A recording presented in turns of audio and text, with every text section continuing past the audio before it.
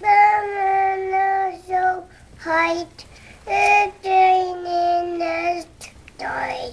Angel, angel, star, how the that you are.